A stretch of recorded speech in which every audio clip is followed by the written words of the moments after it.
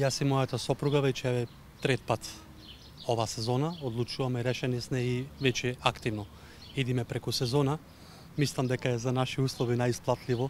Подобри примања, поквалитетно однесување на работодавците, фер плата, фер смештај, оброк обезбеден, навремено исплата осигурани, здравствено, пензиско.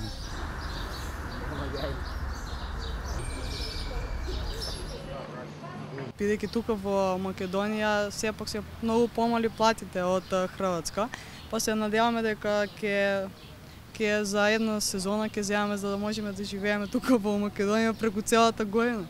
Да има такви примања овде, не би ишле.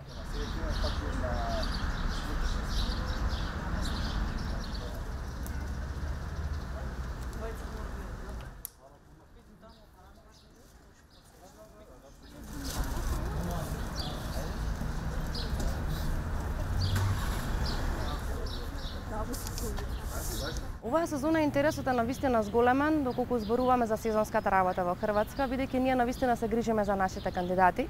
Се трудиме да им обезбедиме подобри услови за работа, повисоки плати.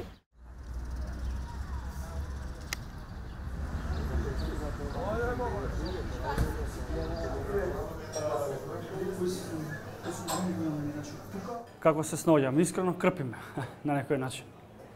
Значи, наоѓаме се сноѓаме со персонал, некогаш и ние сами знаеме да работиме, така да тоа е тоа.